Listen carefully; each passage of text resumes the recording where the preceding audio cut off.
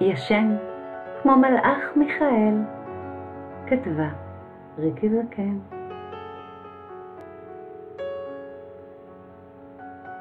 כוכב מתנפץ בין גלי הים אל תוך השקט, צולל עמוק.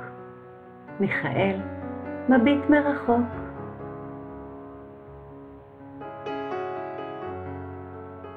חולם על הגלים ועל הרעש שהם עושים.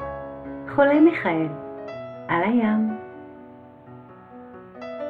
אל תוך השקט צולל עמוק, מתחת לכרית יש לו תמיד משקפת וטלסקופ, שיוכל להביט אל האופק הרחוק.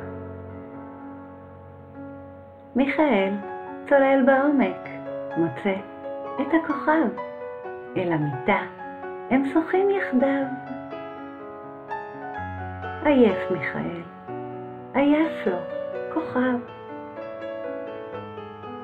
גל מתנפץ, הביא עמו שקט, נוצץ. אור ירח מלא, על גלים שט לאט.